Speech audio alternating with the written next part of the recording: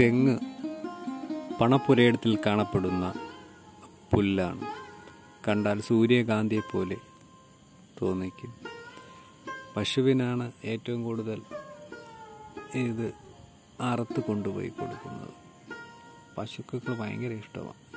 ഇപ്പോൾ പാടത്ത് മൊത്തം ഈ കാണുന്ന ചെടിയാണ് ഏറ്റവും കൂടുതൽ കാണപ്പെടുന്നത്.